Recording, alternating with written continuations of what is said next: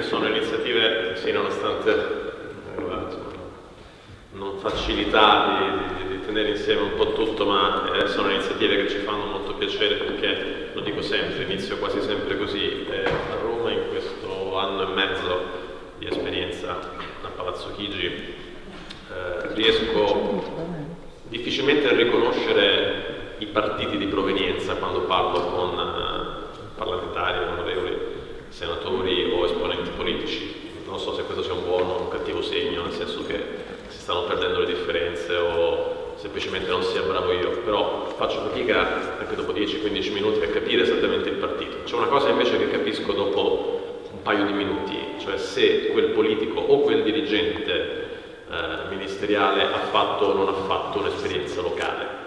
Quello lo capisco dopo tre minuti, eh, perché chi eh, appunto viene dal governo del territorio a vari livelli e a varie responsabilità, come, come sindaco, come, assessore, come assessore regionale, come consigliere comunale, eh, sa cosa vuol dire amministrare, eh, sa cosa vuol dire organizzare un'iniziativa come questa, sa cosa, cosa vuol dire sottrarre tempo eh, in modo totalmente eh, gratuito eh, alla propria vita, al proprio percorso professionale per amministrare la cosa pubblica.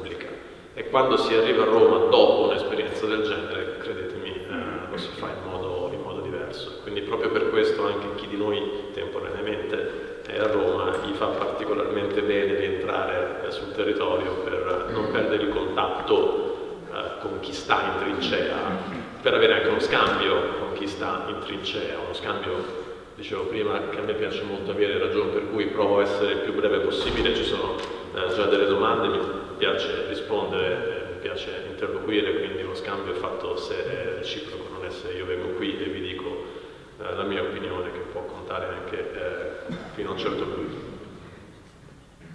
Non si sente fino in fondo, provo a parlare più forte allora perché il microfono credo che vada bene, provo a parlare più forte. Quindi dicevo grazie per questa opportunità perché è importante per noi riuscire a, a mantenere un contatto con chi, eh, ripeto, sta in trincea, con chi amministra, con porta avanti nei fatti le decisioni che spesso a Roma prendiamo. Allora mi pare di capire che il focus, ripeto, provando a essere non lungo perché eh, proprio in forza di quello che dicevo mi piace avere un confronto, anche critico, eh? mi piacciono le domande non critiche. Eh, mi pare di capire che parliamo soprattutto in generale ecco, dell'impostazione che abbiamo voluto dare con la legge di stabilità 2016 e poi un pochino più in particolare, vista la presenza qualificata eh, degli amministratori dei provvedimenti eh, sulla finanza locale, eh, sui quali devo dire ho il mio ruolo nella cabina di regia di Palazzo Chigi è, è, più stretto, nel senso mi occupo non solo di quello, ma in particolare, in particolare di quello. Allora, il modo principale con cui mi piace raccontare la legge di stabilità, complessivamente, poi scendiamo un po' sul problema degli enti locali, è eh, duplice. Da un lato, voi sapete che anche prima si faceva un accenno ai dati economici, stamattina l'Istat nei giorni scorsi, stamattina e domani ridefinirà i dati macroeconomici sul PIL del 2015, la sintesi di tutto è che il Paese viene da un periodo non breve in cui la crescita lattava. Se voi guardate, sono circa vent'anni tra una cosa e l'altra, un po' meno di vent'anni, che qualcosa si rompe nel motore italiano, nel motore della ripresa dell'attività economica. Vent'anni che erano preceduti da un periodo in cui si è cresciuti solo col debito pubblico, una statistica che, che ricordo sempre che il debito pubblico italiano nell'81 era pari al 60% del PIL, 13 anni dopo, nel 94, era quasi esattamente più del doppio in realtà, il 121,8% del PIL. Quindi noi veniamo da una successione di anni in cui prima cresciamo negli anni 70 con l'utilizzo di svalutazione e inflazione. In sala c'è chi si ricorda l'Italia con i tassi di interesse a due cifre, con l'inflazione a due cifre. Poi negli anni Ottanta si passa a crescere invece facendo esplodere il debito pubblico in quella maniera, che è esattamente il, la causa dei problemi di finanza pubblica che abbiamo tuttora. E poi negli anni 90, non potendo più usare nessuna di quelle tre droghe, eh, perché di droghe si, si tratta, svalutazione, inflazione debito pubblico, se usate in quel modo hanno lo stesso effetto che hanno le sostanze stupefacenti, cioè ti fanno stare bene all'inizio, a quanto dicono, eh? no, sta bene all'inizio e poi dopo, quando passa l'effetto, ti trovi, ti trovi con dei problemi. Negli anni 90, non potendo più utilizzare le sue quelle delle droghe, noi smettiamo nei fatti di crescere. Smettiamo di crescere e a causa di classi dirigenti, mia opinione personale, come tutto quello che sto per dirvi, che sia di centrodestra che di centrosinistra non hanno fatto quello che dovevano per aggredire i motivi del nostro non crescere più. Basti ricordare, dell'euro forse parleremo dopo se avete delle domande da farvi, ma possiamo pensare quello che vogliamo dell'euro. Ma il nostro ingresso nell'euro dal 1996 al 2012 ci fa risparmiare cumulativamente, cumulativamente circa 700 miliardi di euro di interessi passivi.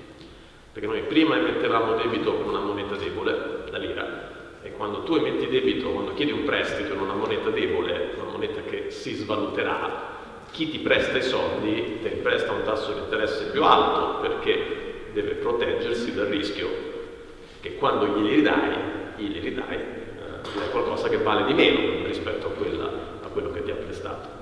Quindi quando noi mettevamo debito con la lira, emettevamo eh, titoli di debito a tassi di interesse più alti.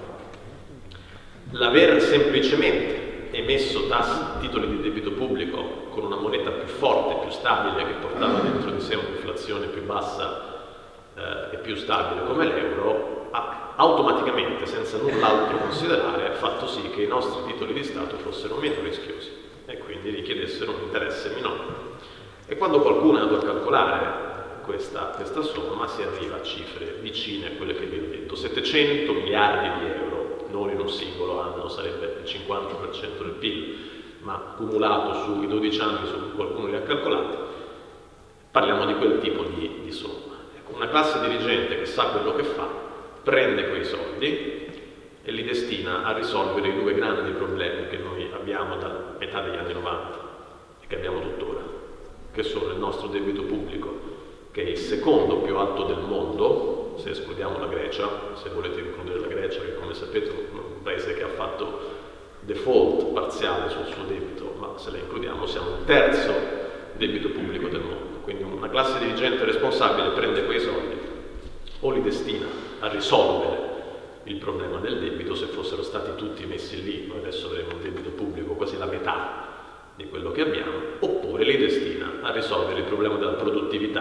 perché questo paese, se voi guardate negli ultimi vent'anni è l'unico paese del mondo occidentale la cui produttività totale dei fattori, vale a dire come funziona il paese, come capitale e lavoro si combinano per far funzionare bene il paese, è l'unico paese in cui questa produttività al meglio rimane stabile ma in alcuni casi scende. Cioè quindi vuol dire che servono investimenti per far funzionare il paese, che non sono per forza investimenti pubblici eh, genericamente definiti che pure abbiamo affrontato in legge di stabilità, significa semplicemente riuscire ad avere una capacità di spesa per risolvere i nodi che in questo paese non funzionano più. Eh, fare riforme strutturali con dei soldi a disposizione è meglio. Noi, uno dei nodi del nostro paese è la mancanza di concorrenza in tanti settori, prendiamo i taxi, prendiamo le farmacie, prendiamo le professioni, eccetera. Un conto è riformare questi settori in modo brusco eh, senza soldi. Bisogna affrontare costi politici elevati. Un conto è farlo, ad esempio, con una dote, come hanno fatto in Irlanda, ad esempio, eh, una dote finanziaria che ti consente di attenuare gli effetti della transizione. Perché se io vado da un tassista, è un settore molto chiuso quello dei taxi, ma se io vado da un tassista e dico da domani mattina la tua licenza, per cui hai speso 200.000 euro, per cui ti sei indebitato, eccetera, vale zero, faccio una cosa utile, nel senso che è utile liberalizzare il settore, ma sicuramente è un danno per il tassista, che vede un investimento azzerarsi in pochi istanti. È solo un esempio per dire che se io riesco a fare quella cosa, parallelamente riuscendo ad attutire gli effetti della transizione, faccio riforme strutturali in maniera da avere un consenso politico sicuramente eh, maggiore. Questo era per dire che quei 700 miliardi risparmiati con il semplice ingresso nell'euro lungo 16 anni di tempo potevano essere usati o per abbattere il debito o per finanziare le riforme che da 20 anni, ma se vogliamo da 40 anni, perché nei due decenni precedenti ci compravamo la crescita con le droghe, svalutazione, inflazione e debito pubblico, per risolvere quei problemi che bloccano, che mettono la sabbia nel motore italiano. Le classi dirigenti di quest'ultimo eh, ventennio, cosiddetta Seconda Repubblica, non hanno fatto nessuna delle due cose. Hanno utilizzato quei soldi per aumentare la spesa pubblica corrente. E io ritengo, io metto sul banco degli imputati assieme alle classi dirigenti eh, degli anni 70 e 80 anche le classi dirigenti degli anni 90, anche qualora fossero eh, classi dirigenti espressione del partito politico al quale, al quale sono iscritto. Eh, un'incursione, ma dopo ne parliamo, eh, si parla molto in questi giorni di pensioni. Eh, c'è stata questa bufala atroce della reversibilità, insomma ce ne saranno altre di bufale prossimamente. No? Perché nessuno ricorda che il motivo per cui la riforma Fornero è stata approvata nel 2012, una riforma dura, una riforma importante, una riforma con degli errori purtroppo eh, importanti come quello sugli esodati al quale si sta provando con sette salvaguardie a rimediare, ma una riforma così dura, nel senso che da oggi a domani eh, io eh, innalzo l'età pensionabile, non dall'oggi al domani, in modo graduale, ma non così graduale l'età pensionabile non è stata fatta perché al governo c'erano, perché non c'eravamo noi, c'era un branco di, di, di, di sadici affamatori di vecchietti, è stata fatta perché nel 1973, una bella mattina, il Parlamento all'unanimità, maggioranza e opposizione, vota, stava votando un decreto legislativo, una norma secondo cui da quel momento in poi le donne con figli nel pubblico impiego potevano andare in pensione dopo 14 anni, 6 mesi e un giorno di contributi.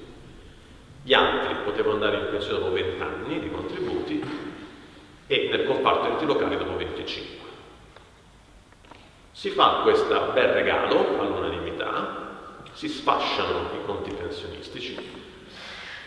Nel 92 mi è capitato un paio di settimane fa televisione di discutere con Abete e Cofferati che dicevano no, noi siamo quelli che l'abbiamo abolita. No, nel 92 voi siete quelli che hanno evitato che ce ne fossero di nuovi, ma noi tuttora paghiamo 9 miliardi di euro per quelle cosiddette baby pensioni, 9 miliardi all'anno per pagare la pensione. Il mio professore educazione artistica al liceo in pensione all'età che io ho adesso.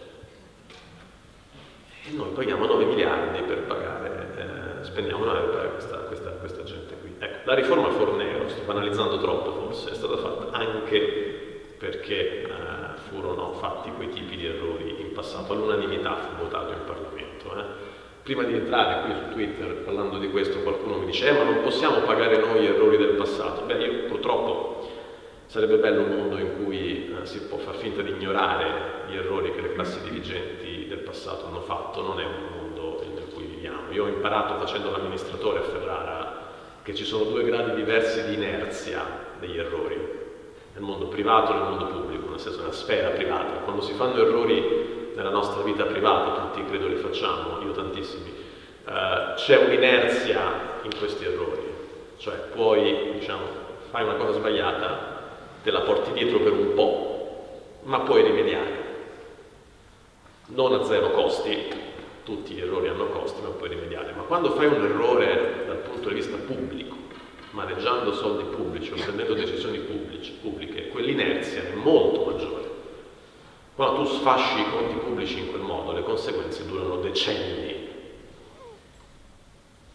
Allora è chiaro che sarebbe bello far finta di niente, rimuovere il problema o essere affascinati da qualche teoria, dopo ne parliamo, non, non, vera, non giusta su come funziona il debito pubblico, come funziona la moneta, eh, che semplicemente non è, non, è, non è, vera. Purtroppo una classe dirigente responsabile che a quell'epoca non era neanche nata eh, prende atto della situazione e prova a risolvere il problema, non rimuove il problema. La rimozione è un meccanismo che funziona in psicologia forse, non, non in politica.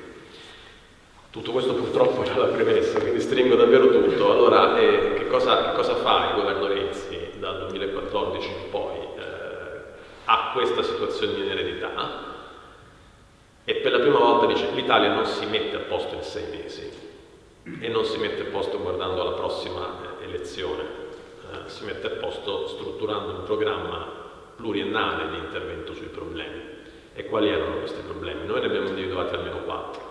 Primo, questo è un paese in cui paga, chi le paga paga troppe tasse sul chi le paga, poi se volete parliamo di quella polemica sull'evasione, voi sapete che l'anno scorso è stato l'anno in cui negli ultimi 13 anni si è recuperato più gettito da evasione fiscale, 14,8 miliardi. Stranamente ha coinciso con il punto più alto della polemica eh, su cui si accusava il governo di, siccome si innalzava il famoso limite dei contanti, su cui se volete parliamo dopo, il governo non gliene frega nulla dell'evasione fiscale. È stato l'anno record di recupero dell'evasione fiscale ed è stato l'anno in cui con i provvedimenti attuativi della delega fiscale si è anche sistemato strutturalmente il rapporto fra fisco e contribuente. Però questo è un problema in un paese in cui chi le paga le tasse le paga troppe. La Banca Mondiale ogni anno pubblica un, una statistica, si chiama Total Tax Rate. Dice, ma scusate, sommando tutte le tasse locali, nazionali, regionali, sul lavoro, sul patrimonio, sul capitale, dati 100 euro di profitti, un'impresa quanto ne versa in tasse? Allora, questa statistica, il total tax rate, quindi tasse totali, in Italia nel 2013 era 65,8.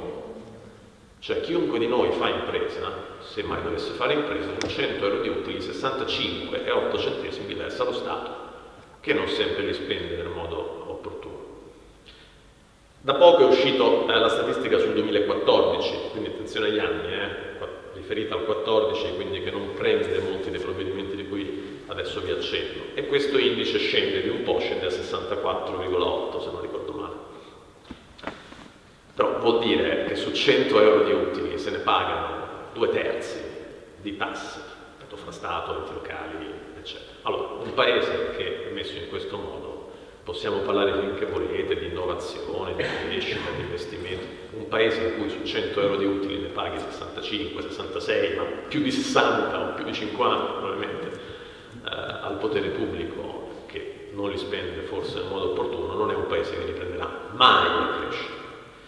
È un paese in cui un operaio metalmeccanico di terzo livello costa 2.200 euro al, al datore di lavoro e ne prende in tasca la metà, è un paese la cui domanda interna difficilmente ripartirà, quindi il cui il cuneo fiscale contributivo fra costo del lavoratore all'impresa e eh, busta paga netta, un paese che ha questa differenza non riprenderà mai a crescere. Ergo le tasse in questo paese vanno abbassate, senza se e senza ma. Possibilmente, come crediamo di aver fatto, abbassare le tasse su su chi ne ha maggiormente bisogno. Elenco i problemi, poi le misure, poi chiudo. Le tasse, quindi se ne pagano troppo. Due, è un paese in cui gli investimenti sono fermi da troppo, fermi quando va bene. In realtà se voi guardate gli investimenti degli enti locali, in realtà di questo vi dovrei parlare, dal 2004 al 2014 si dimezzano, ripartono solo l'anno scorso, non a caso. Nel 2004 gli investimenti dei comuni erano 20 miliardi più o meno all'anno, nel 2014 erano 10 miliardi.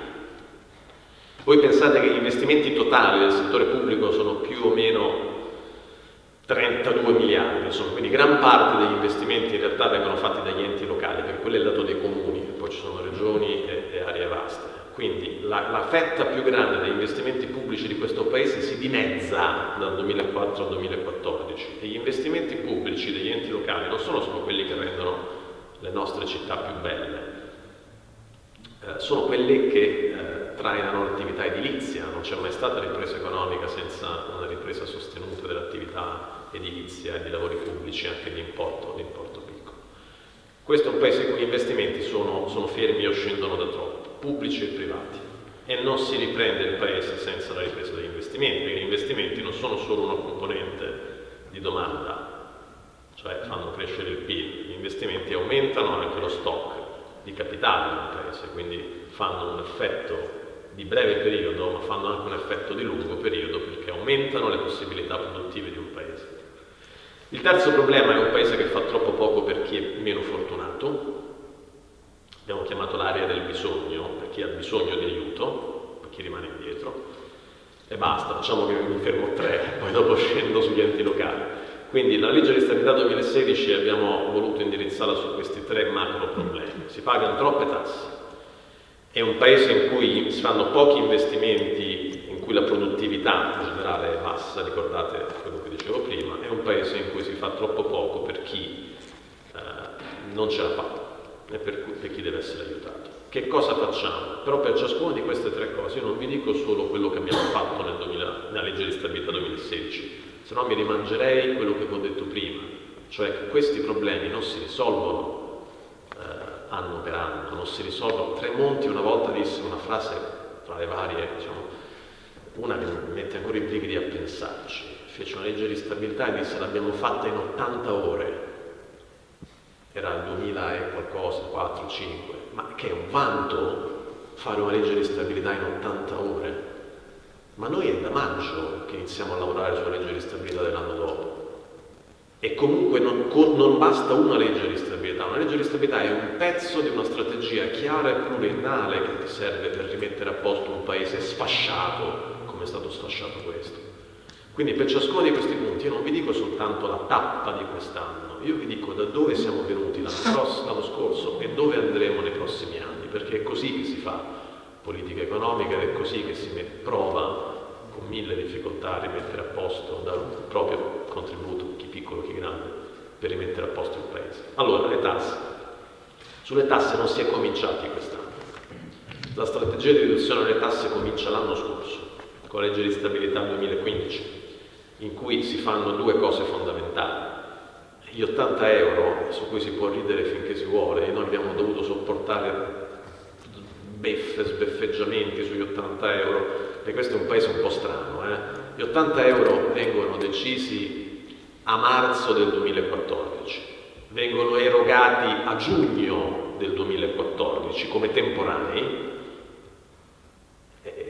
quindi un consumatore se gli dai una roba temporanea difficilmente si fida e dice vabbè me li spendo, solo con la legge di stabilità 2015, quindi a dicembre 14 dice guarda sono permanenti, Sapete soltanto coloro che guadagnano fra 8.000 e 26.000 euro eh, eh, lordi annui, circa 10 milioni di italiani, 10 miliardi di euro costò quella misura. Quindi a giugno gli italiani cominciano ad avere in busta paga e a dicembre del, del 2015, 2014 scusate, eh, gli si dice che sono temporanei, permanenti. A maggio si comincia a dire che gli 80 euro non funzionano perché non, i consumi non ripartono cioè prima che venissero erogati. Fantastico. Repubblica titolò, non funzionano gli 80 euro perché i consumi sono fermi. Tra l'altro erano i consumi del trimestre precedente, perché anche lì la statistica delle... non è che escono dati oggi, sono i dati di stamattina, sono i dati del trimestre o dell'anno a volte precedente. Quindi fotografando i consumi 2013 si disse che la misura che è entrata in vigore a giugno 2014 non funzionava, un paese un po' strano questo qui. Una volta che è entrata in vigore, ovviamente gli italiani che cosa hanno fatto? Intanto finché non mi si dice che sono permanenti e magari finché non mi assicuri che poi non mi alzi le tasse per finanziare gli 80 euro, io cavolo che me li spendo. Secondo, ho talmente decumulato i miei risparmi in questi anni, perché l'Italia viene da sei anni molto complicati, in cui i redditi sono tornati all'inizio degli anni 90 come quindi ho dovuto intaccare i miei risparmi, questo è un paese che ha una consistente mole di risparmi privati, ma li ho intaccati. Siamo un popolo paziente, siamo un po' no, impaziente per tante case, ma siamo un popolo diciamo, eh, attento al risparmio, quindi abbiamo ricostruito i nostri risparmi prima di cominciare a spendere gli 80 euro. La politica economica purtroppo è così, ci vuole tempo, non siamo nel mondo delle favole. Fatte queste due cose, gli italiani cominciano a spendersi gli 80 e a maggio la Banca d'Italia, spero non si voglia accusare di, di, di renzismo di cosa tutt'altro, credete, eh, certifica che il 91% di quegli 80 euro sono stati spesi in consumi. E se voi guardate i dati dell'Istat pubblicati settimana scorsa sul PIL 2015, ti dicono che la spesa delle famiglie italiane, per la prima volta dopo un sacco di tempo, aumenta di quasi l'1% i consumi interni di questo paese, la domanda interna stagnava da troppo tempo, ripartono i consumi delle famiglie. Per cosa se non per il fatto che tu hai messo a 10 milioni di italiani 10 miliardi di euro in tasca a coloro che guadagnavano di meno, diciamo, anche se non quelli sotto gli 8 mila euro, non ancora perlomeno. Questo si era fatto nella legge di stabilità scorsa e si era fatta anche un'altra cosa, vado veloce, l'IRAP, che è un'imposta molto strana, eh? un'imposta che gli imprenditori pagano anche quando perdono. Eh? Imposta strana, necessaria perché ci finanzia in parte il sistema sanitario, su cui anche lì sarebbe interessante dire, eh, dire qualcosa, nel senso è un paese in cui tu dai un miliardo in più alla sanità e ti dicono che gliene tagliati tre. Complicato da, da spiegare, ma dopo, dopo se volete ne parliamo. Eh, l'IRAP è un'imposta strana perché gli imprenditori la pagano anche quando l'azienda è inutile, in, eh, non è inutile, nel senso non è, registra una perdita, non un profitto. E allora che facciamo noi? L'anno scorso, eh, questa è tutta roba già fatta, diciamo sapete cosa c'è? Tu l'IRAP sul costo del lavoro a tempo indeterminato non la paghi più. L'IRAP è un'imposta che ti colpisce i fattori produttivi, il capitale del lavoro. Dico, sul lavoro se è a tempo indeterminato non la paghi più, sono circa 6 miliardi l'anno meno di tasse per le imprese. C'è stato il caso di quell'imprenditore, credo siciliano, che con i soldi che ha risparmiato dell'IRAP ha aumentato, in alcuni casi raddoppiato lo stipendio dei suoi dipendenti. Forse vi ricordate ebbe qualche minuto di celebrità mediatica, perché poi si è passato a ben altro, a Banca Etruria. E questa è tutta roba dell'anno scorso, permanente. Quest'anno qual è la puntata, la seconda puntata di questa roba qui, delle tasse che devono scendere? L'intervento sull'imposta sulla prima casa si dice non dovevate iniziare dalla prima casa. Non si è iniziato dalla prima casa, si è iniziato l'anno scorso con gli 80 euro e con l'IRA e si prosegue l'anno prossimo con quello che dirò fra un attimo. Però perché si è fatto l'intervento sulla prima casa? Guardate, non, non avete di fronte uno che neanche quando era assessore al bilancio impazziva per il fatto di eliminare la tassa sulla prima casa che esiste in tutto, in tutto il mondo, esiste tranne in un paio di, di paesi eh, africani e asiatici. Eh, qual è il punto? si può pensare ovviamente come la si vuole, vi assicuro che è stata una dialettica anche. Eh, il punto è questo. Tagliare le tasse ha effetti di offerta diversi, perché è chiaro che tagliare le tasse sulla casa è diverso che tagliare le tasse sul lavoro. Perché se tu mi tagli le tasse sul lavoro, io riesco a, a offrirmi di più sul mercato del lavoro. O se io imprenditore riesco a domandare più lavoro se mi, tasse, mi tagli tasse sulla casa non è che compro più case. Eh? Però gli effetti di domanda sono gli stessi, cioè comunque rimetti dei soldi in tasca alla gente, in media 200 euro all'anno per famiglia, sono 3 miliardi e 7 in tutto. E se hai 3 miliardi e 7 da spendere, se li butti sul lavoro non te ne accorgi neanche. Quando tagli le tasse sul lavoro e sui profitti devi parlare di cifre, di, di, di importi a due cifre. Con 3 miliardi e 7 non ci fai nulla d'altra parte. Scegliere di eliminare l'imposta sulla prima casa ha avuto innanzitutto il segnale di dire io ti rimetto quei 200 euro in tasca. E da quel punto di vista tagliare le tasse sono tutte uguali, nel senso se tagli quelle sul lavoro, sul capitale, sui capelli biondi, sui capelli... sempre soldi in tasca rimetti. Sono diversi gli effetti di offerta, certo. Un conto è tagliare le tasse sul lavoro, cosa che preferiamo perché su 50 miliardi di tagli di tasse complessivi del 2018, 47 sono sul lavoro, tre sono sulla prima casa. Ma qual è stato il punto casa? Guarda, qui sono dei sindaci, degli amministratori, se ti togli quella sciarpa mi fai un favore. Guarda a te cosa devo fare adesso. Perdonate, ma ho un difetto che forse alcuni conoscono, sono juventino, ma di quelli anche abbastanza... E quindi Stefano con la sciarpa del volume non mi, mi riconcede, insomma. Sì, scusa, anche perché... Eh, che succede quindi? che scherzo eh, ovviamente, voglio essere lapidato proprio. Eh, lo dico da ex amministratore, ma cioè, l'imposta sulla prima casa dal 2008 in poi è stata roba da psichiatri, non è stata roba da amministratori. EIG, Moetasi e Tared ha cambiato nome e modalità di funzionamento decine di volte in sei anni, ma non si capiva, ma ve lo ricordate che cos'era? e una volta il gettito è tutto statale, poi è parte comunale, poi è metà statale, poi gli immobili comunali, poi va lì, poi va... Basta. Presidente prima persona mettere una parola di chiarezza, non se ne può più, quella tassa non si paga più, punto. Dice ma solo in Italia? D'accordo, solo in Italia. Però sono 3 miliardi e 7 di soldi che rimangono in tasca ai cittadini e non vanno allo Stato, perché i comuni sono ovviamente integralmente eh, rimborsati sulla base dell'accertato 2000-2015. Togliamo anche la tassa sugli inquilini, eh, perché si pagava anche la tassa sugli inquilini. Il comune poteva decidere di far pagare dal 10 al 30% dell'importo anche sugli inquilini, anche quella se ne va. Poi se ne vanno altre due tasse che nella narrazione sono chiamate IMU, ma non sono tasse sul patrimonio, sono le tasse su chi lavora. Se ne va l'IMU agricola, sui terreni agricoli, non per chi ha il terreno e ha la piscina sopra. Se ne vanno l'IMA, fa l'IMU agricola per gli imprenditori agricoli, i coltivatori diretti le società assimilate, cioè chi usa la terra per produrre compresa la roba dei terreni montani su cui un po' di confusione fu fatta l'anno scorso. Va via tutta quell'imposta lì. Va via l'IMU sugli imbullonati, dice che sono gli imbullonati, lo sanno gli amministratori, ma è una roba un po' strana eh, che in questo paese gli imbullonati sono le presse attaccate al terreno con i bulloni in un capannone d'impresa. Ora che in questo paese io imprenditore che ho un capannone pago l'IMU sul capannone ci sta, perché l'IMU colpisce gli immobili, il capannone è un immobile, è vero, un mondo ideale, ideale quell'immobile mi serve per produrre, però abbiate pazienza, è un immobile. Ma che io mi debba pagare l'IMU sui macchinari dentro al capannone è come se io a casa mia la Tasi la pagassi non solo sull'immobile, ma anche sui mobili. Eh, quella roba lì costa 500 milioni, anche questi rimborsati ai comuni, ma l'abbiamo tolta perché è un po' complicato spiegare che io pago l'IMU non sul, come imprenditore, non solo sul capannone, ma anche su quello che ci sta dentro.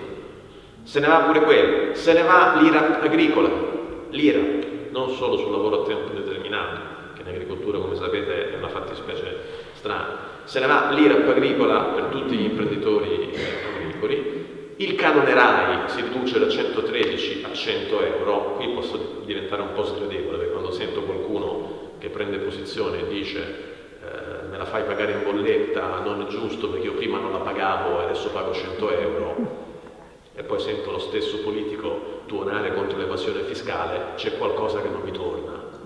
Perché se tu prima non pagavi un canone RAI era un evasore fiscale, punto. Adesso non puoi evaderlo, eh, te l'abbiamo ridotto del 13%, un po' di meno, uh, da 113 a 100 euro, quella lì è una riduzione di di tassa, perché formalmente, lo sapete, il canone RAI è equiparato a un tributo. E poi continua la decontribuzione, che ve lo sono scordato di nel 2014, la decontribuzione, quella che facemmo nel 2014, se tu assumi a tempo indeterminato, tu imprenditore per tre anni non paghi contributi, perlomeno fino a 8.000 euro per lavoratore non paghi contributi. Dicevano che era per quello che l'occupazione saliva, avete visto l'altro ieri il dato dell'occupazione di gennaio, sale nonostante la decontribuzione sia stata ridotta da gennaio, perché in legge di stabilità 2016 riproroghiamo la contribuzione ma cominciando a farla calare, perché è vero la decontribuzione, la decontribuzione può essere interpretata come una droga, pure questa, stasera parliamo di droga, insomma. Cioè, eh, un imprenditore rischia di assumere soltanto perché non gli fai pagare i contributi. Allora per questo la droga gliela devi piano piano togliere, ed è quello che stiamo facendo la misura quest'anno è per due anni, cioè intendiamoci, chi ha assunto l'anno scorso per tre anni ha l'esonero contributivo fino a 8.000 euro, eh? chi assume quest'anno ce l'ha per due anni fino a 3.250, se non ricordo male, euro di eh, contributivo. Però pure quella è una riduzione eh, di tasse, una riduzione appunto del cuneo contributivo. Questo è il pacchetto per risolvere il primo problema. L'anno prossimo, come sapete, IRES, da 27, tassa sui profitti delle delle imprese, da 27 a 24,5, da 27,5 scusate a 24 e nel 2018 ritorniamo sull'IRPEF.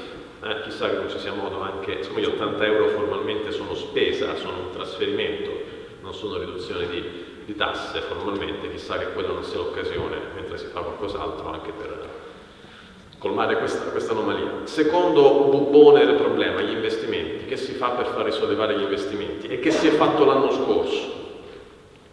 Stavolta invertiamo, che si fa quest'anno, nel 2016? Si fanno fondamentalmente tre cose. Gli investimenti non sono solo investimenti pubblici, gli investimenti di un paese sono anche gli investimenti degli imprenditori, quindi investimenti privati, e gli investimenti esteri, cioè imprese estere che vengono a investire in Italia. Questo è bene ricordarlo, eh? però su tutte e tre facciamo qualcosa. Quelli pubblici ne parlo poco perché immagino che fra, fra poco quando parliamo di enti locali lo dirò meglio. Cioè sugli enti pubblici noi l'anno scorso il patto di stabilità interno l'abbiamo abbattuto del 60% per i comuni e abbiamo cambiato il modo in cui si riparte l'obiettivo. Questo sempre legge di stabilità 2015. L'anno scorso, la puntata precedente, il patto di stabilità abbiamo cominciato a toglierlo, abbattendolo del 60%, una cosa che si riduce al 60%, come dire, prende una bella botta, e in più dici, io prima fatto 100 l'obiettivo, lo ripartivo fra i comuni con un modo un pochino strano, cioè una percentuale della spesa corrente. A noi non ci piaceva questo modo di assegnare ad ogni comune il suo obiettivo di patto e l'abbiamo cambiato l'anno scorso, l'abbiamo reso un po' più meritocratico. Cioè io do un obiettivo più basso, in senso di stringente, meno stringente, ai comuni che sono maggiormente in grado di spendere, ai comuni che hanno tagliato di più la spesa corrente, comuni che hanno più risorse disponibili. Questo fu l'intervento dell'anno scorso, dice che risultati ha avuto? Questo è un paese che fa un po' di fatica a confrontarsi con i risultati delle cose. L'intervento dell'anno scorso, i risultati li abbiamo scoperti settimana scorsa, qualcuno ha letto l'e-news del Presidente lunedì, l'ha visto nel post scritto. Per la prima volta dal 2004 gli investimenti comunali ripartono non dell'1, non del 2, non del 3, del 15,3% in più. Sono un miliardo e sette in più gli investimenti, non sono quindi più 10 miliardi, sono circa 12. Grazie alla misura dell'anno scorso. Ma la misura di quest'anno, il secondo tempo, perché le cose si fanno così se le. Prima un primo tempo, poi un secondo tempo, in un paese così servono 10 tempi almeno per mettere a posto le cose. Qual è la misura della legge di stabilità 2016? Il patto di stabilità gli hai dato una botta l'anno scorso, stavolta lo togli. Noi abbiamo eliminato il patto di stabilità interno per i comuni, che non è giusto, eh, non sono fra quelli che lo criminalizza troppo, l'ho studiato da ogni punto di vista anche per il mestiere che faccio, eh, è uno strumento che è stato, io lo definisco eh, efficace ma non efficiente nel senso che il suo lavoro l'ha fatto per 17 anni, ha tenuto sotto controllo i conti pubblici, ma l'ha fatto a costi troppo elevati. Quindi è uno strumento efficace ma inefficiente. Spesso molti amministratori lo usavano come alibi, eh? come alibi, davano la colpa di tutto al patto. Però è uno strumento inefficiente, aveva troppi problemi e noi l'abbiamo tolto. Io non vi dico da ex amministratore la gioia nel scrivere il comma 710 legge di stabilità, a valere dal 1 gennaio 2016 cessano tutte le disposizioni concernenti la disciplina del patto di stabilità interno. Perché dice togli il patto e lasci tutti liberi? No, l'abbiamo già vissuta la stagione di tutti liberi, quella degli anni Ottanta, e guardate dove ci ha portato. Noi abbiamo messo una regola diversa, facciamo che ne parlo se, se c'è bisogno di approfondire, si chiama regola del pareggio, che fondamentalmente dice tre cose. Io non ti chiedo più di quello che hai incassato, perché il patto di stabilità, gli amministratori lo sanno, aveva un obiettivo positivo, vuol dire che i comuni dovevano accumulare entrate finali superiori alle spese finali. In aggregato erano circa un miliardo e sette l'ultimo anno. E sono, questo è sangue che dai comuni andava allo Stato erano risorse che andavano a ridurre l'indebitamento netto dello Stato, ma sulla pelle dei comuni. Adesso l'obiettivo si chiama regola del pareggio, zero, non è più qualcosa.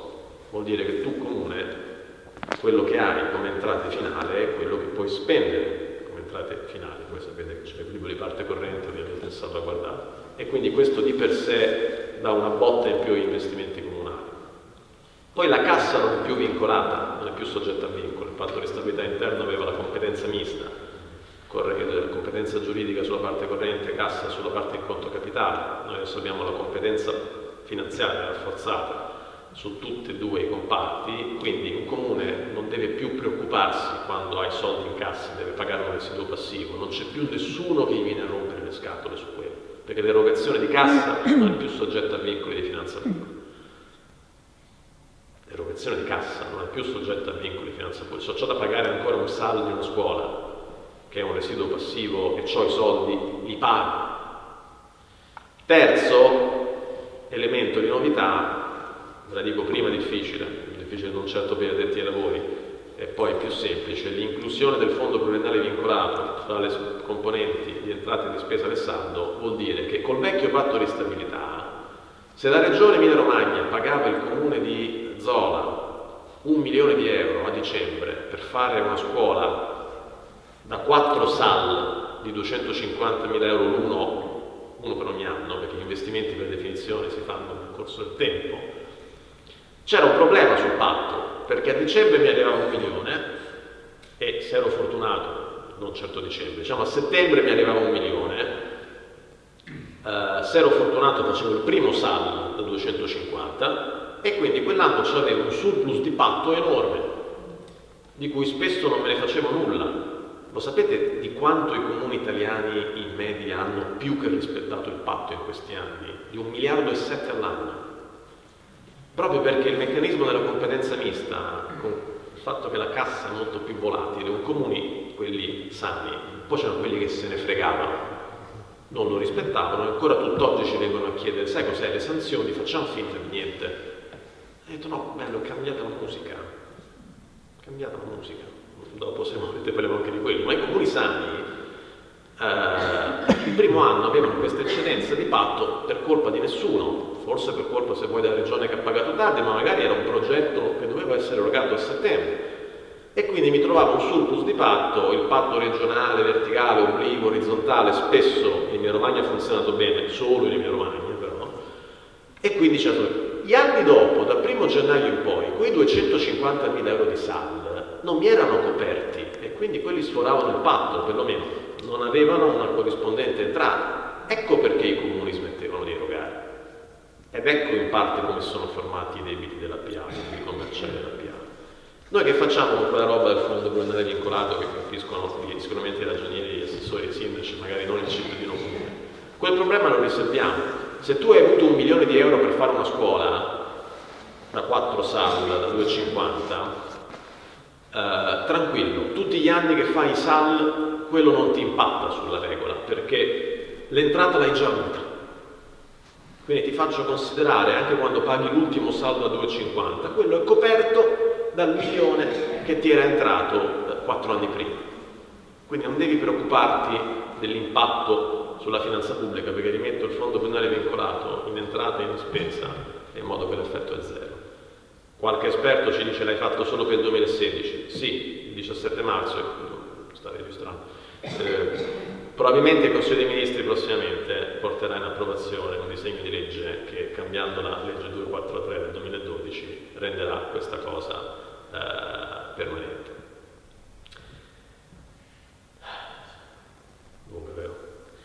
Investimenti privati, e questo sono investimenti pubblici, quindi i dati di questi giorni, più 15,3%, sono la misura del primo tempo. Questa è la misura del secondo tempo, che state vedendo adesso facendo i bilanci, di cui i dati verranno fuori fra un anno, se, siamo fortunati, però questo è il, il cammino dove stiamo andando.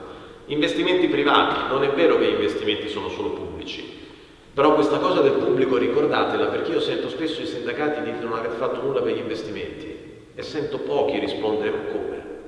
Abbiamo buttato nel cestino il patto di stabilità interno, i risultati sono questi finora con la manovra del primo tempo. Però gli investimenti sono anche privati. Che cosa facciamo in stabilità 2016 per gli investimenti privati?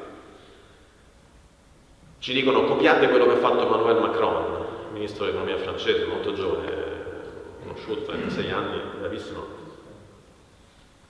non abbiamo copiato noi, abbiamo fatto una cosa un po' diversa.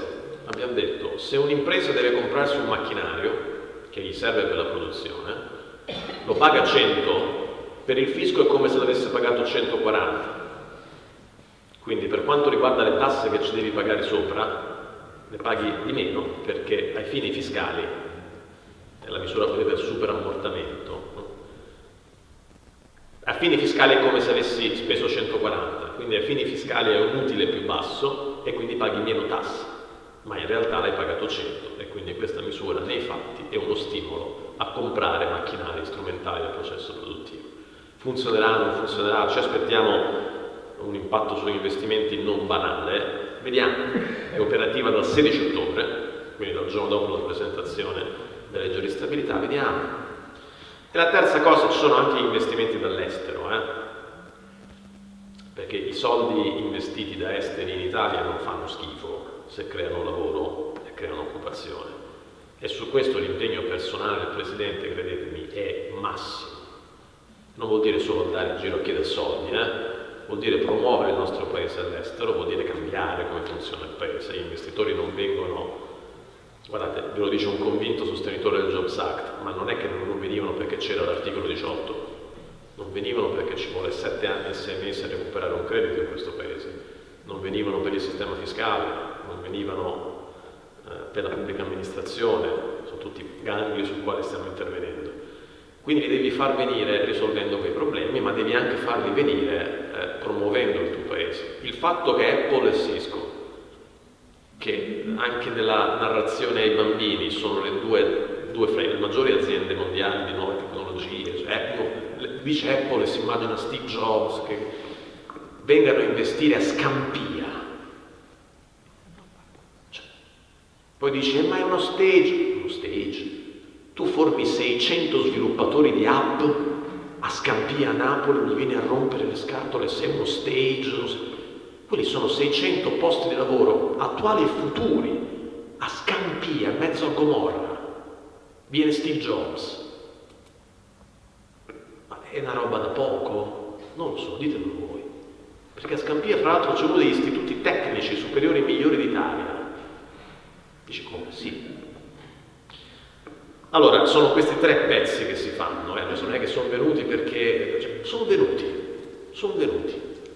Dice, ma hanno fatto un accordo col fisco? Sì, come esistono da 25 anni, né una lira in più né una lira in meno, non c'è stato nessuno scambio, comunque sia, ragazzi, sono miliardi di investimento di Apple e Cisco e non di un'azienda che fa bottiglie d'acqua naturale senza nulla togliere all'acqua naturale, ma sono tutto quello che per anni ci siamo detti, innovation, tecnologie, bla bla bla, a scampiana. Non lo so se è una cosa su cui so, riflettere.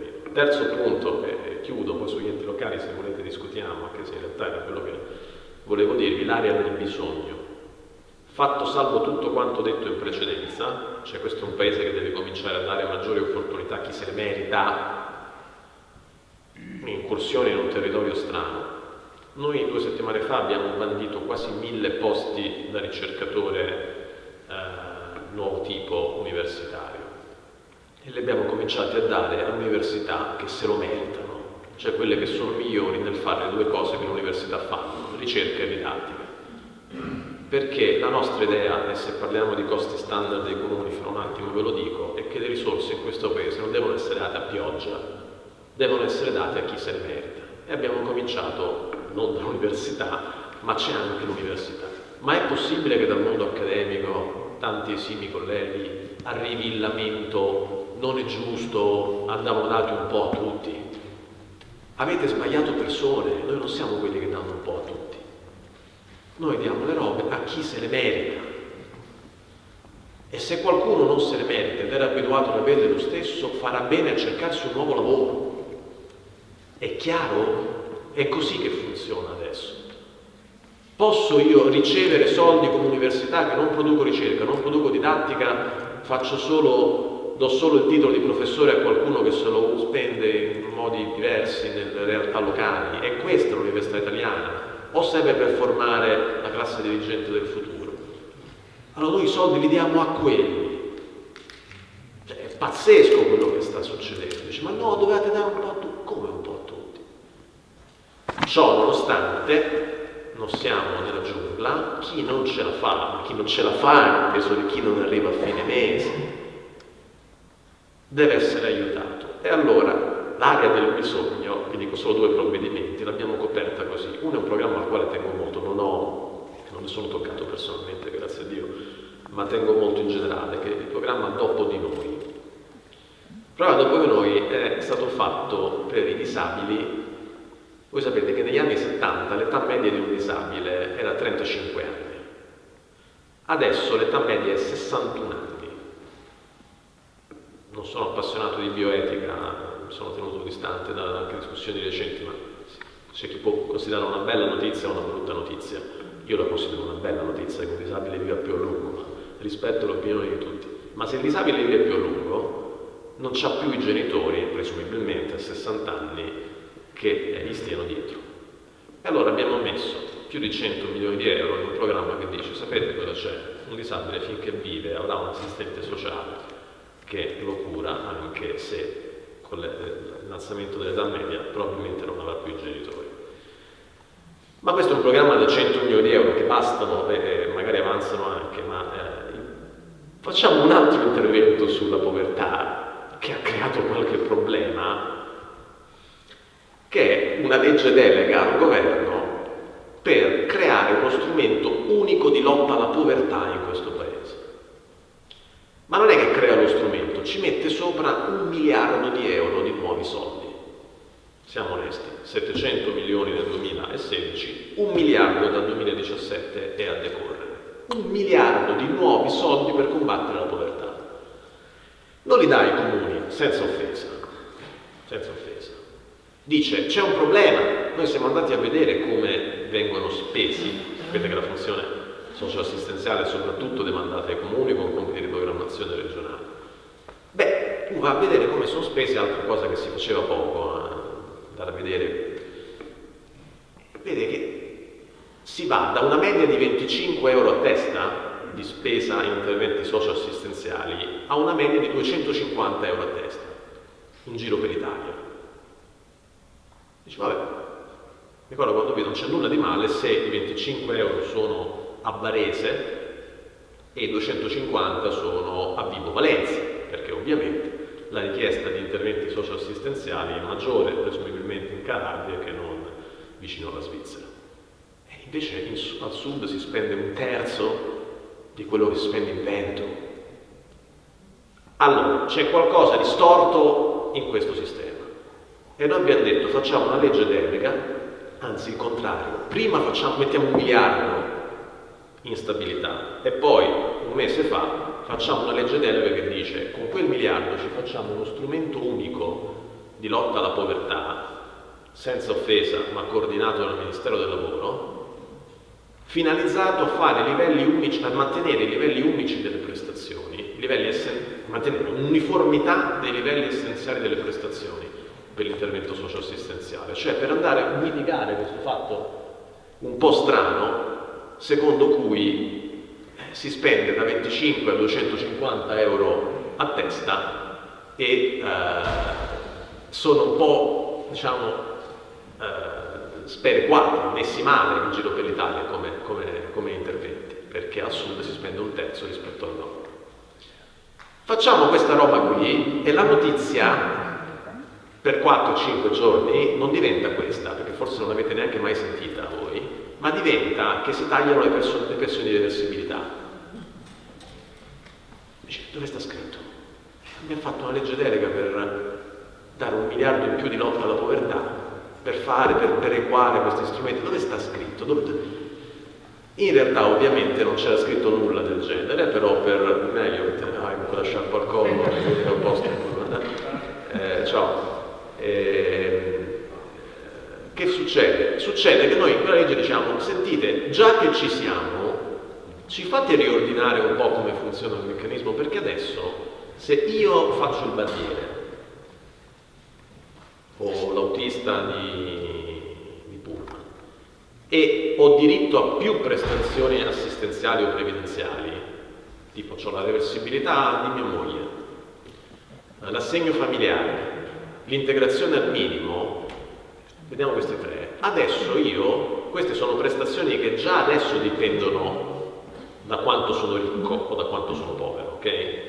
Ma dipendono in tre modi diversi, perché una volta si vede il reddito personale, una volta si vede il reddito di sé, una volta si vede il reddito personale corretto per i figli o per i familiari. Ma facciamo che se io ho diritto a delle prestazioni previdenziali e assistenziali, ve la do una sola volta la dichiarazione ad esempio prendo la componente reddituale dell'ISEE, lì che ha creato ISEE, mi dice a casa, no, prendiamo la componente reddituale dell'ISEE per tutte e tre le prestazioni, così evito di darvi tre patenti diverse di quanto sono povero. Questo c'è scritto là. E ma in un paese così abbiamo dovuto perdere 4-5 giorni invece a spiegare che uno mi ha scritto su Twitter che mi deve ammazzare perché gli taglio l'università della madre morta. Non so, ma, ma, ma, ma che, che, paese sta diventando questo? Un disegno di legge che, faceva, che dà un miliardo in più alla povertà e che dice rendiamo la vita più semplice al povero Cristo che invece di presentare tre dichiarazioni ne presenta una. Certo, ne approfittiamo per vedere se c'è qualcuno che non prende qualcosa di non dovuto, ma spero che non sia quello il problema, eh? perché se qualcuno prende cose non dovute le sta sottraendo a uno che ne ha più bisogno di lui. Se il problema è quello, guardate, arrabbiatevi pure, ma è esattamente quello che vogliamo fare. Datemi tre minuti sugli enti locali in modo da far partire la discussione, se volete. Eh, la finanza pubblica locale andava rifatta, va rifatta tutta, perché è un, è un settore su cui si è, si è, fatta troppa confusione negli ultimi anni. Anche lì abbiamo un programma pluriennale, in parte l'avete visto. Le regole innanzitutto, e quindi patto di stabilità, abbiamo già detto. Eh, riorganizziamo le fusioni, sono in un territorio che sa cosa vuol dire, o vicino a un territorio che sa cosa vuol dire. Abbiamo raddoppiato i soldi per le fusioni, spendo 30 secondi su questo. Prima gli incentivi alle fusioni Palazzo Chigi dice, riceviamo ormai ogni giorno lettere di comuni che non vogliono fondersi, dicono no ma piccolo è bello, ragazzino io so piccolo è bello, intanto non ti obbligo a fonderti, eh, però eh, il comune più piccolo d'Italia ha 36 abitanti, un giorno voglio andare a visitarlo e capire come fanno le elezioni, se va a votare la metà delle persone sono 18 persone, che, ma, ma dove vogliamo andare con 8.000? Insomma, quindi non ti obbligo, ma non mi mettere in croce se ti incentivo a fonderti. Allora, prima ti incentivavo a fonderti in un modo secondo me sbagliato, perché uno di Valsamoggia, di cui ha beneficiato, di cui c'è stata una vivace dialettica, non so se, se poi è venuto il sindaco. Eh, ah, ecco, perfetto. Eh, l'incentivo prima era, ci conosciamo solo via telefono, lunghe chiacchierate, telefonate. Eh, l'incentivo prima era tu fondi ti stai 5 anni fuori al patto il comune ne ha beneficiato, giustamente reclama un diritto, me l'hai detto, adesso mi fai perlomeno andare avanti un po' ed è una posizione sensata, infatti eh, sveliamo come è finita la storia, per un altro anno, per un altro anno, per un altro anno, per un altro anno, fino al 2016, eh, c'è l'esenzione dalla regola, diciamo. Però qual è per un altro anno, cioè fino a fine 2016? Eh, Qual è il punto? Ed è giusto così, intendiamoci, perché eh, il Comune si era impegnato politicamente non solo con risorse, anzi, ripeto, si, come stava dicendo Daniele, gli si frega da questo punto di vista eh, due anni, però qual è il punto? Veniamo, torniamo seri.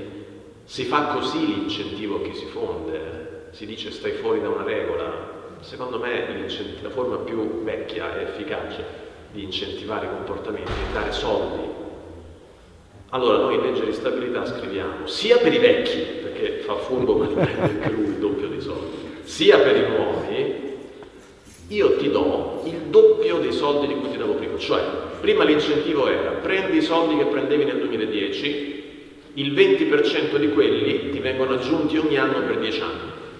Adesso prendiamo il 40% di quei soldi. Tradotto, se io comune nel 2010, nel 2010 è l'ultimo anno prima della tempesta, eh, perché dal 2011 in poi i trasferimenti ai comuni scendono di 8 miliardi e 3, quindi sono livelli iperstellari.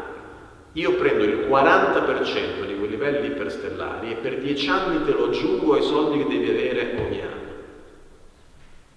Adesso che la gente lo sta cominciando a capire, eh, io credo, sono fra quelli che credono che funzioni più questo come incentivo che non dire fonditi e stai fuori da una regola. La regola o vale per tutti o non vale. Ragione per cui dobbiamo anche smetterla, perché io ritengo una vergogna il fatto che in questo Paese, per tutti gli anni in cui il patto di stabilità è stato vivo, almeno una sanzione, quella che faceva più male per chi lo violava, i soldi, è sempre stata annullata. Ed è sempre stata annullata di nascosto a fine anno. Questa è una vergogna. Una vergogna per gli altri comuni che sono fatti il mazzo per rispettare il patto di stabilità. E quindi spero, come sapete la premessa delle premesse, chi, chi sta nelle posizioni non decide nulla, siamo persone che danno una mano al Presidente del Consiglio nell'avere idee e nell'implementare le idee, ma la decisione sulle idee non sta a noi ovviamente, ma io spero che questa cosa finisca, nel senso se tu violi una regola che vale per tutti, tu paghi la sanzione come chiunque altro, anche se sei un, politicamente un comune importante, perché se il paese deve cambiare, deve cambiare anche da queste, da queste cose qui. Quindi per le fusioni diciamo, le incentiviamo, non in quel modo, salvaguardiamo per un altro anno a chi, a chi è stata fatta una promessa, eh, ripeto in maniera, a parte di scherzi, assolutamente legittima e spero che mi direte se la posizione vi soddisfa o meno, magari facciamo un ragionamento sulle unioni, ecco avete di fronte uno che non crede che le unioni comunali siano uno strumento efficace, quindi magari mi direte quello, quello che pensate se volete, e chiudo davvero, però la cosa che secondo me a cui tengo di più. È un'altra rivoluzione che abbiamo fatto due minuti e mezzo e chiudo. Dal 1977 i trasferimenti ai comuni erano i decreti stammati, stammati era un ministro democristiano degli anni 70, che fa una cosa tipica dell'epoca, dice il debito, ma sì, non me lo accollo io, tu continua a farlo, e poi continua a dare, comincia a dare i trasferimenti ai comuni, quindi con la finanza derivata, tu dici, basati su che? Cioè, se scende un marziano sulla Terra, tu dici, ma lo Stato ai comuni quanti soldi deve dare? Il marziano ti dice, basate su due cose, su quanto gli serve e quanti soldi da solo è in grado di tirar su dalle tasse. Cioè, quanto gli serve fare il servizio di trasporto scolastico non costa allo stesso modo se devi portare i bambini in pianura o in montagna. Non costa allo stesso modo se hai tanti bambini o se hai pochi bambini. Non costa allo stesso modo se hai tante scuole o se hai poche scuole. Manutenere una strada non costa allo stesso modo se è una strada di montagna o una strada di pianura. Gli affari generali o i fitti passivi, i fitti di immobili comunali, non costano allo stesso modo in una città in cui gli affitti sono 100 e in una città in cui gli affitti sono 20. Uh, I servizi socio-assistenziali non costano allo stesso modo se ci sono un sacco di anziani o sono pochi anziani, eccetera, eccetera. Cioè andiamo a individuare il fabbisogno standard di quello che i comuni fanno. Quanto dovrebbe costare un servizio? Questo è un conto. Secondo, tu quanti soldi hai di tuo comune? Cioè un 1% di addizionale IRPEF, quanto ti tira su da solo, senza che ti dia io? Eh, ma non è la stessa cosa a Milano come a Crotone, perché i redditi non sono gli stessi a Milano e a Crotone. Uh, le rendite catastali, che purtroppo non sono state aggiornate, la riforma del catasto è una delle cose che, eh, se, sai, quando hai una griglia con 50 salsicce sopra e la griglia è così, e la griglia è così perché ogni legge deve fare Camera, Senato, Camera, Senato, Camera, Senato, e se provi a cambiare il Senato come si fa con il referendum sei un antidemocratico perché è strana pure questa come cosa, eh? dicono la riforma della Costituzione non c'entra con l'economia. Ah no? Perché per voi è la stessa cosa? Farsi venire un'idea, approvarla in Consiglio dei Ministri, mandarla al Parlamento ed essere l'unico paese al mondo che ha due rami del Parlamento che fanno la stessa cosa? Secondo voi fare una legge avanti e indietro in Camera e Senato e perdere anni per approvarla prima che possa rispondere al bisogno per cui è nata non è una roba che ha a che fare con l'economia? Però dicono che far così sia un attacco alla libertà democratica. Decideranno i cittadini a ottobre con il referendum se è un attacco alla libertà democratica. In ogni caso, le rendite, ripeto, eh, la griglia è, è corta quindi perché con questo sistema istituzionale finora non puoi mettere sulla griglia 80 salsicce, ne abbiamo messe 50, la salsiccia rimasta fuori, fra le altre è quella della riforma del catasto. Uh, però la rendita catastale non è la stessa a Venezia come a Ragusa e quindi un 1% di IMU non tira sugli stessi soldi a Venezia come a Ragusa. Allora il marziano che scende sulla terra dice, beh tu Stato ai comuni darai pure i soldi basato su questo, quanto ti serve e quanto di quello che ti serve non riesci a tirare su da solo. Si chiama la capacità fiscale. Dal 77 in poi, dal 77 al 2014, in questo paese il criterio è stato un altro. Il criterio della spesa storica, che è il criterio chi ha avuto, avuto, avuto, cioè quello che ti davo l'anno scorso ti do quest'anno. Cioè come? Eh sì, perché nel 77 abbiamo fatto una sorta di negoziazioni anche un pochino a seconda di quale il senatore più. Ho cominciato a darti dei soldi e da lì in poi sempre gli stessi. Poi quando ho dovuto tagliare, perché ho dovuto tagliare, come si fa a tagliare in un sistema del genere? Linearmente, un po' tutti, sulla base della popolazione. Questo è il criterio della spesa storica, in vigore in Italia dal 77 al 2014. E noi vedo, non ci piace. Noi vogliamo un criterio in cui lo Stato i soldi ai comuni li dà sulla differenza tra quello che gli dovrebbe costare un servizio e quello che non riescono a coprire con le loro tasse. E questo è diverso in giro per l'Italia. E io voglio andare a vedere per ciascun comune, quant'è lo voglio mettere online, www.opencivitas.it. È online da maggio. L'avete mai sentito qualcuno che è andato a guardarci? Trovate ancora dati 2010 perché i comuni non sono proprio svelti nel rispondere ai questionari sui bisogni standard, non i comuni di questa regione probabilmente. Uh, e adesso stiamo, come sapete, approvando, finendo il giro dei, dei dati 2013, quindi i dati aggiornati 2013. E allora l'anno scorso abbiamo cominciato a dire, d'ora in poi, l'anno scorso, quindi sul 2015, fatto 100 i soldi che lo Stato dà ai comuni, 20 euro vanno col nuovo sistema, cioè 20% del fondo di solidarietà comunale non viene dato più su base storica, ma viene dato su base di questo nuovo sistema. Quest'anno 30, perché è così che si fa, non fai 100% subito. Disegni un cammino graduale, perché è una rivoluzione, eh? è una rivoluzione. Non tutti sono contenti anche, probabilmente mi direte cosa ne pensate, perché è un'altra cosa essere costretti a confrontarsi con quello che un servizio dovrebbe costare. 20% l'anno scorso, 30% quest'anno, 40% l'anno prossimo, 55% nel 2018. Per ora ci fermiamo qui, ma andremo fino al 100% spero nel 2020. Vuol dire che per allora l'Italia avrà un sistema in cui al 100% i soldi ai comuni vengono dati sulla base del sistema che vi dicevo prima. Questo cosa implica? Che ogni anno, soprattutto quando si taglia, quest'anno sapete non si taglia neanche un euro, non possiamo escludere che da qui alla fine dei tempi non si debba tagliare altro ai comuni, ma quando si taglia significa che non si taglia lo stesso a tutti. E qui c'è qualcosa di divertente, su cui davvero chiudo. Eh? Voi avete mai sentito qualcuno negli ultimi anni non dire basta con i tagli lineari? Lo dicono tutti, è diventato un must. E io molti di quelli che in tv andavano a dire questo, quando noi abbiamo cominciato ad applicare questo sistema, hanno cominciato a dirmi una cosa non troppo diversa da quella che alcuni colleghi universitari hanno detto sulla ripartizione dei soldi. Perché a quella città hai tagliato più che a me? Mi devi tagliare come a lei, perché abbiamo gli stessi numeri di abitanti. E no, quello è il taglio lineare. Se ti ho tagliato di più, vuol dire che per la parte di competenza di quel 20% tu stavi spendendo di più del tuo fabbisogno standard.